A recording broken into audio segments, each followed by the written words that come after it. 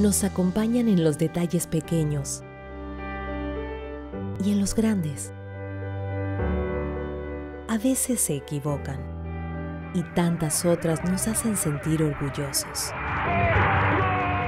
Pero están a tu lado siempre.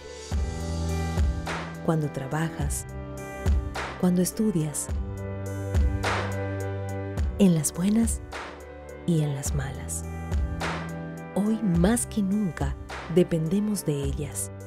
Solo debes lavarlas correctamente. Mójate las manos. Aplica suficiente jabón para cubrir todas las superficies.